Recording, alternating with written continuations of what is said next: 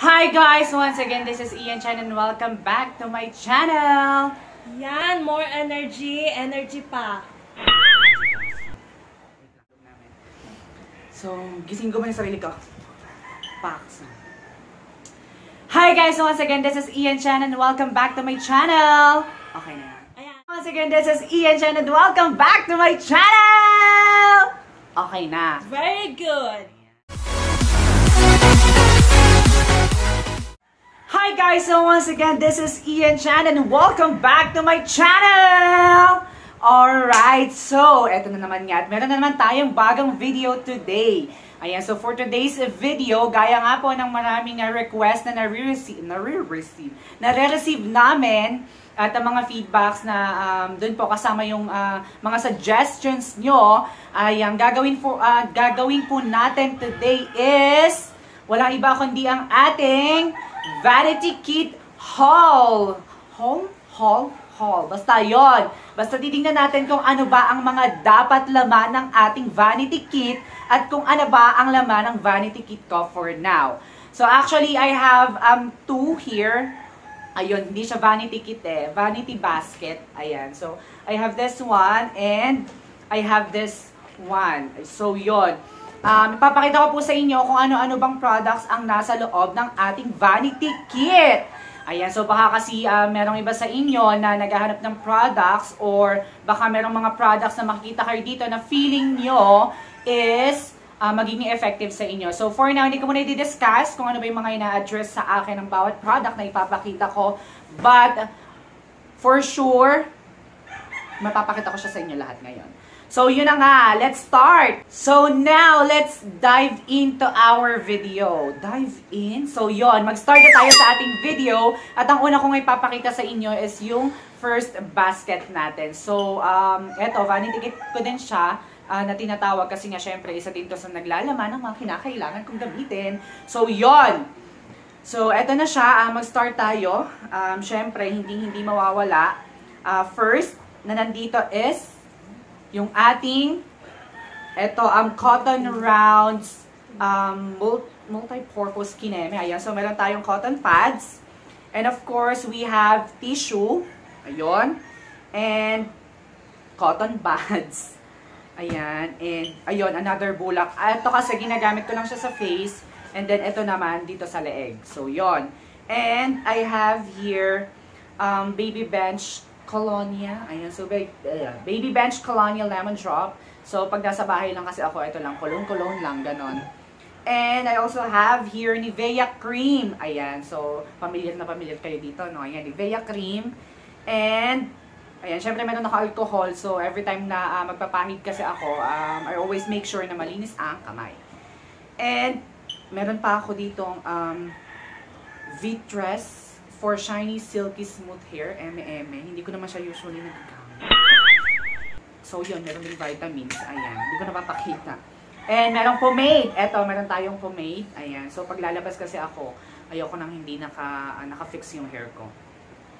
And meron din tayong um, Aztec Secret Indian Healing Clay. So, hindi ko siya binili. Galing siya sa friend ko. At yun, ginagamit ko siya hanggang ngayon. At ang tagal-tagal na nito. Promise. Pero hindi pa siya na-expired. And syempre, hindi mawawala ang ating mahiwagang brush. Ayan. So, bakit po may brush? Baka isipin nyo, bakla ako. Hindi po ako bakla. Ayan, may brush. Ay, may tumulit na naman. Sayang. So, yun. Bakit po may brush? Kasi nga, um, mamaya papaliwanag sa inyo ha. Teka lang ha. Tapusin muna natin to. Ano? Yon. So, tapos na tayo dun sa unang uh, basket natin. So now, pumunta naman tayo dito sa ating second basket. So, second uh, vanity kit. Ay, bakit may ganito dito? Ano to? Oh my God, hindi po sa akin to ha. Ayan ha, may naglagay. May nagsasabotage yata. Nako ha. Hindi po sa akin. Huwag kayo maniniwala sa kanila. What? So, yon ito na yung laman ng ating second um, kit. So, una is I have here Nivea Intensive Intensive, kaka-ICU. Intensive Moisture Body Milk. Ayan, so lotion para sa buong katawan. Ayan, meron ding maliit. Ito yung ginaga, dinadala ko pag nagka-travel. And, meron akong body spray. Ayan. So, we also have here a uh, Nivea hindi ko talaga maalaman kung ano ang tamang pronunciation dito. Dahil tuwing bibili ko, micellar, eh, sabi ko micellaire. What? Diba? So, comment down below kung ano ba talaga ang tawag dito. Is it micellar or micellar? So, yun. Comment nyo na, guys. Para man mawala na sa utak ko kung ano ba tamang tawag dyan. And, meron din tayong, ayun, Nivea again. So, Nivea Sun Protect and Moisture. Ayan. So, um, SPF 30. So, lagi ako nagsasunblock every time na lumalabas para hindi naman nasasayang yung mga pinapakit ko sa mukha ko, no? So, yun. And, I also have here Eskinol Glutathione Milk Whitening Facial Toner. So, yan po yung ginagamit kong toner sa umaga. So, again, sa umaga ko siya ginagamit. Ayan, dalawa siya. Bumili lang ako ng dalawa para pag naubos to agad-agad, eh hindi na ako tatakbo pa sa labas, no? And, meron din akong Eskinol Spotless White Eme Gemma Gemma. So, ginagamit ko naman siya sa leeg. Sa leeg ko lang siya ginagamit hanggang minsan dun sa batok. Hindi ko kasi alam ba't ayaw magpantay ng ano, no? Ba't ayaw magpantay ng kulay ko sa leeg at sa mukha? Yun nga. And, Nivea again. So, I have Nivea uh, Men Whitening, ano ba to? Whitening Complex Antiperspirant. So, ito yung ginagamit kong deodorant. Actually, kailan ko lang siya nagamit, pero mukhang okay naman. And, ayun, Alcogel. Ayan. And eto pa, ito na nga guys, isang sekreto ko, no? Ang ginagamit ko sa aking uh, night um, skincare routine ay RDL Gemma Gemma Baby Face number 3. Ayan. So, sa gabi ko lang siya ginagamit kasi medyo matapang siya. So, kailangan di siya nasisinaga ng araw. Kaya, ito yung ginagamit kong um, toner sa gabi. Actually, hindi siya talaga toner, pero parang gano'n na nga. Yun. And, syempre, meron din akong Johnson's Baby Powder dito. Ayan. So, pagka, uh, after ko mag-apply ng moisturizer, okay, after ko mag-apply ng mga soothing gel, ito yung nilalagay ko. Hindi muna ako naglalagay ng kung ano-ano. And, bakit ito? Kasi Johnson's Baby Powder is hypoallergenic. So, yon And, eto pa. Ito naman yung facial moisturizer na ginagamit ko naman sa umaga. Yan. So, uh, meron akong Celetec Dermoscience Plus Hydration Free uh, Facial Moisturizer. So, yon And eto pa, eto actually pang kilikili din siya. Um, Avon naman siya. So, Quelch Gemma Gemma Whitening, 4-in-1 whitening. So, meron din ako ditong pang shave. Ayan. So, sa halagang 15 pesos yata ito. Sa shave ng mukha ko. And then, meron tayong suklay. Ayan. Hindi mawawala dahil mahilig ko magplansya ng buhok pag kahit nasa bahay lang. So, yon And meron din tayong, ito nga, ano, pang kilay. Actually, lapis lang po. Hindi ko talaga siya ginagamit. Natural po yung kilay ko. Natural yan. Uh, so, ito po, uh, ginagamit ko lang siya pag lalabas ako. Pero, since mukha naman akong lalabas kanina, ginamit ko na din. Pero, konti lang naman.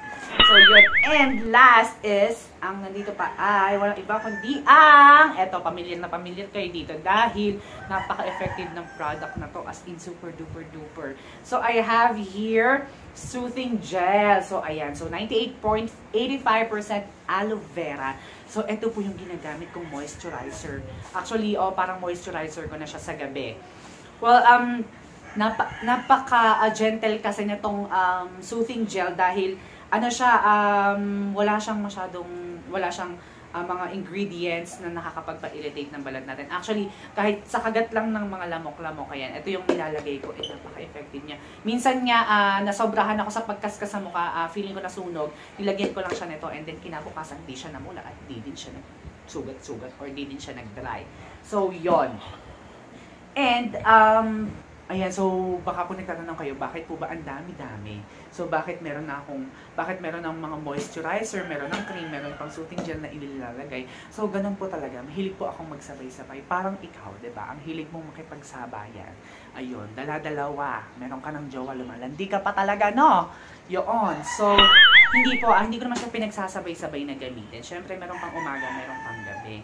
So, yun. At, I-reveal po natin ulit yan sa mga susunod pa nating mga videos kung saan ko ba at kung kailan ko ba ginagamit ang mga products na to. So magkakaroon din tayo ng product re review.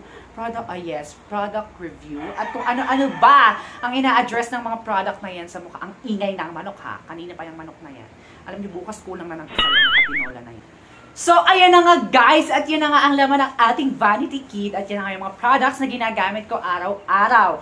So, in a long run, ipapakita namin sa inyo kung ano ba ang ina-address sa akin din at kung ano bang mga benefits na nakukuha ko sa paggamit ng mga products na yan. So, kaya naman, kung hindi ka pa nakasubscribe, huwag kakalimutan mag-subscribe sa aking YouTube channel at i-click ang notification bell. So, please like, share, and comment sa din para sa mga suggestion nyo para sa mga susunod pa natin mga videos. So once again, this is Ian Chan, and you have a great and wonderful rest of the day. Bye-bye!